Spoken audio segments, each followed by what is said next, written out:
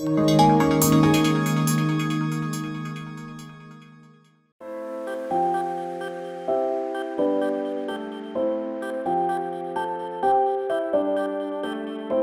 các bạn, mình là Hoàng Anh. À, nếu như có một chút cái bột trà xanh thơm thơm như thế này thì các bạn dự định sẽ làm gì? Chắc khỏi phải nói thì chúng ta cũng biết có rất là nhiều công dụng của trà xanh liên quan tới sức khỏe và sắc đẹp mà chúng ta có thể dễ dàng vận dụng tại nhà. Ví dụ như chúng ta có thể đắp mặt này, làm bánh hay là làm thức uống chẳng hạn. Ừ, vậy thì ngày hôm nay Hoàng Anh sẽ chỉ cho các bạn cách để chúng ta có thể làm được bột cà xanh tại nhà nha. Nhưng mà với công với công thức này thì các bạn lưu ý là phải tuyệt đối kiên nhẫn